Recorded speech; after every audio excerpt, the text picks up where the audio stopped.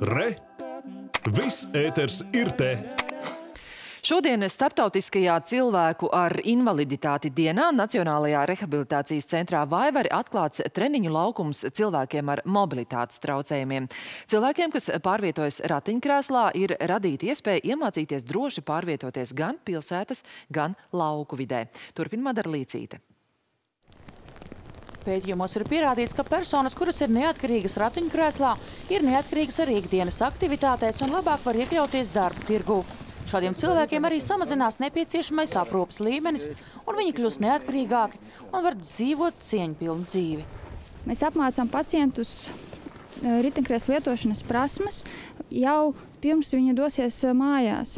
Bet mājās, kad viņi atrodas, viņi varbūt viņi var, spēc, būs apmācīti ēst, ēšanai, dzeršanai, bet viņi varbūt nebūs apmācīti pārvietošanai ritiņkrēslu.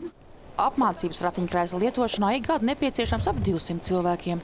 Jauno riteņkrēslu treniņu laukumu varēs izmantot gan rehabilitācijas centra pacienti, gan jebkurš cits riteņkrēsla lietotājs. Cilvēkiem, kas staigā, liekas, tas ir nieks. Cilvēkam riteņkrēsla pat neliels slīpums ir ļoti liels izaicinājums. Mācīties lietot riteņkrēslu ir kā no jauna mācīties staigāt. Riteņkrēsla lietošana iekštelpās parasti ir vienkārši apgūstama, taču ar grūtībām pacienti saskaras lietojot ratiņkrēslu ārpus mājām. Nepieejama vide, apmales, dažādas virsmas, kāpnes ir tās lietas, kas ierobežo ikdienas aktivitāšu veikšanu un izolē cilvēku no ārpasaules cilvēks jebkurā gadījumā jā, jāsagatavo jebkādiem šādiem izaicinājumiem un šķēršļiem, kas ir ikdienā, tie paši pakāpieni, uzbrauktuves un tā tālāk.